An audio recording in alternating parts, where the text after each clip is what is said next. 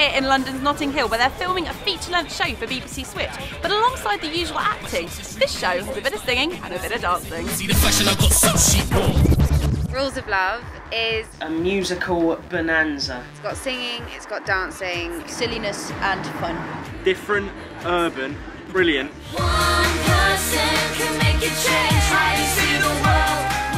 Watch it because it's good fun. It's really light-hearted. It's a feel good, it'll make you happy. Simply the most amazing piece of television you'll ever see. I'm sure you'll enjoy it. So that's just a little taste of what we can expect from the Rules of Love, which you can catch on December the 18th on BBC Two. How to fly.